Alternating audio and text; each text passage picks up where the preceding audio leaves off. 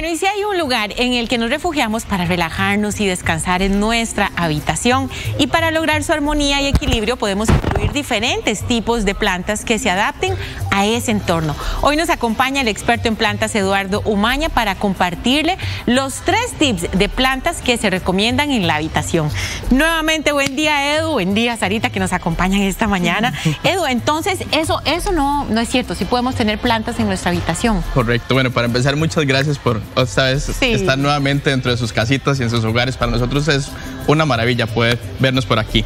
Y en efecto, sí podemos tener plantas en la habitación, porque como les decía ahora, antes de que empezara el segmento, ha sido un mito que se ha llevado a lo largo de los años. Sin embargo, a modo de broma, se dice que el único peligro que hay de tener eh, una planta en la habitación es que nos vayamos a tropezar con ella. Pero después de ahí no hay problema.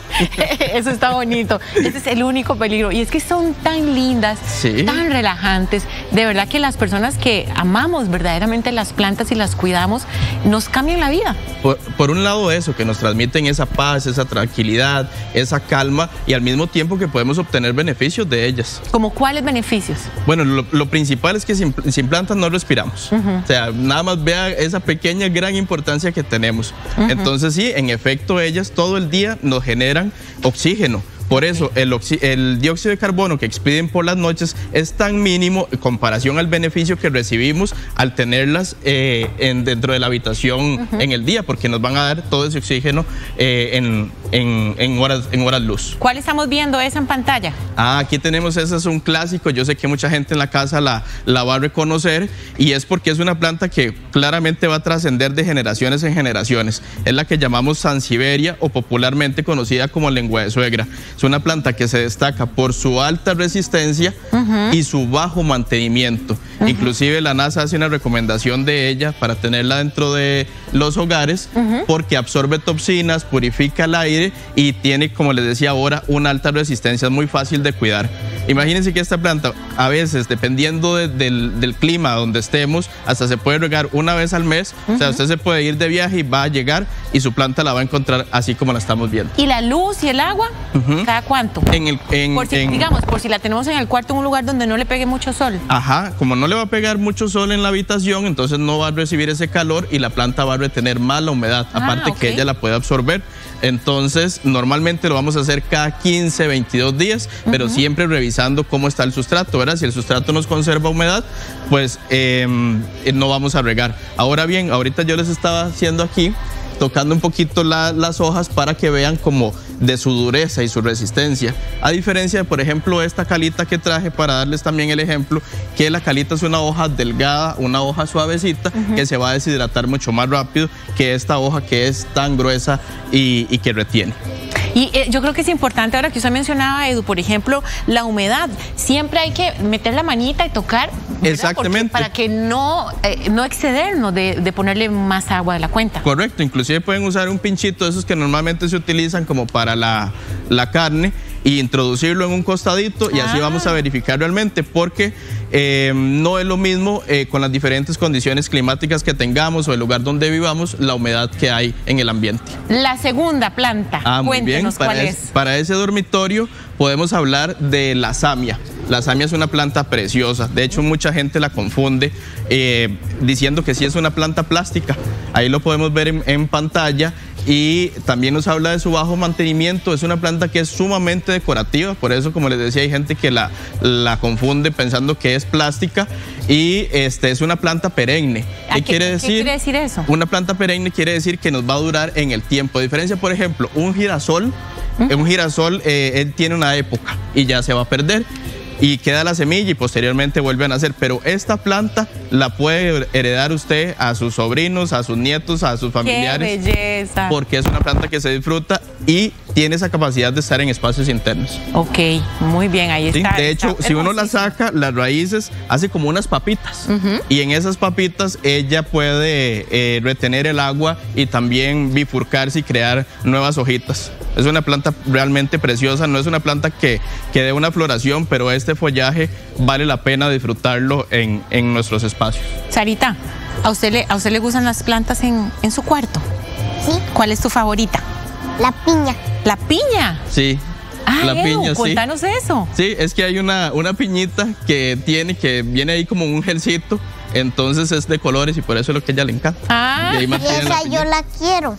la quieres y le tienes nombre. Vamos a tener que traer un día piñitas para que las vean. ¿Sabes que yo le pongo nombre a, a mis plantas también? ¿Cómo se llama la tuya, la piña? Bueno, a mí me la tienen que comprar, yo no la tengo, pero yo le pondría florecita. Florecita. Ok, bueno, cuando la tenga se va a llamar Florecita, Edu. Florecita. Muy bien. Nos queda una planta más. Edu, Sí, y ¿cuál esta es? también es bastante popular y es esta belleza sí. que tengo aquí, que aquí nuestra modelo ahora les va a contar Vaya. algo sobre esta, sobre Vaya esta orquídea. papá, de La orquídea evidentemente es una planta muy llamativa, nos transmite esa calma y esa serenidad. Eh, sus floraciones es algo de lo más llamativo porque existen miles de variedades de orquídeas, pero la Phalaenopsis en específico puede durar hasta siete meses cada floración. Entonces imagínense la resistencia que nos habla esto y puede florecer más veces al año. Como recomendación siempre ponerle a bonito una vez a la semana cada 15 días y así vamos a poder mantener eh, Pero cuando cre- queremos crear contrastes, cuando queremos darle un toque de elegancia al, al espacio, la orquídea sin duda es una excelente opción para lograrlo. Me encanta, la amo yo. Sí, es que duran Sí. demasiado y son Sí. facilísimas de cuidar. Usted les pone agüita una vez a la semana y son felices. Las floraciones son lindísimas en cuanto a la variedad de colores. Entonces es una planta que normalmente las flores son para espacios externos, las rosas, las hortensias, todas estas plantas que vemos de las exoras que necesitan mucho sol son lindísimas, pero no las podemos tener dentro de un cuarto. ¿Quién nos iba a contar, Sarita, de las orquídeas? Ah, que, vamos, que vamos a hacer una rifa sobre las orquídeas y pueden ir a nuestro Instagram para poderse ganar esta belleza de orquídea. Ah, para ¿En que la Instagram y en Facebook? En Instagram y en Facebook para que participen. ¿Qué tienen que hacer, Sarita? Buscarnos en Instagram y en Facebook ¿Cómo aparecen? com- como Hobby Arte Planta. Muy bien, y así quedan participando. Sí. Edu, vea qué interesante, le pregunta este Manuel. Dice que si es efectivo tener citronela en el cuarto para combatir los zancudos. Se puede tener el tema de las citronelas que en efecto ayuda a combatir los zancudos, pero no es una planta de interior, es una planta de exterior, entonces sí hay que dejarla eh, en un lugar como el jardín, que no esté bajo techo, donde le caiga lluvia y sol. Ok. Hay, hay otra consulta, me dicen. Dani, no. Ok, dice por acá otra televidente, yo estoy embarazada y tengo una lengua de suegra a la par de mi cama, al lado donde yo duermo. ¿Hay algún inconveniente? Y una vez que nazca mi bebé, ¿puedo poner una en su habitación de recién nacida? Bueno, felicidades por ese bebé primero, qué Sí. lindo. Y lo otro es que, como ahora les contaba de sus beneficios, no hay problema. Por el contrario, más bien nos va a ayudar a tener un ambiente sano, un ambiente tranquilo, donde usted pueda estar purificando el, el ambiente, el aire en su entorno, liberándolo de toxinas. Entonces le va a quedar muy bonita y le va a beneficiar a ese bebé. Muchísimas gracias. Recomendaciones finales, Edu, Ajá. para los que quieran tener plantas en su habitación. Hay gente que nos dice eh, qué plantas no debo manejar. Entonces, bueno, muchas personas no les gusta como el tema de las espinas, entonces ahí se trata de evitar el, el tema de, de los cactus y en efecto plantas que sean eh, para exterior. Mm, Por más linda que veamos esa hortensia, por más linda que veamos esa planta tropical, es, no es una planta de interior, entonces no es una planta que debamos tener en espacio interno porque lo que vamos a hacer es estresarla y luego nos va a costar mucho recuperarla ya dejándolo, dejándola en el espacio que sí requiere.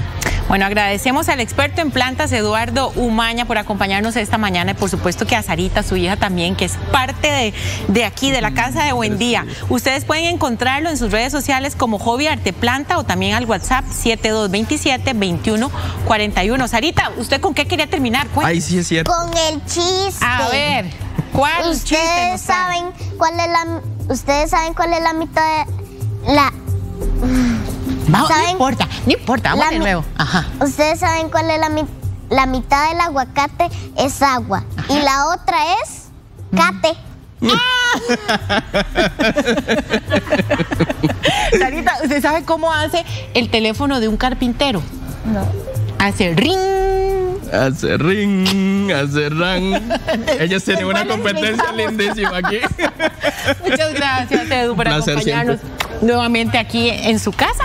Estás a un clic de distancia. Suscríbete a nuestro canal de YouTube y sé el primero en descubrir todo el contenido.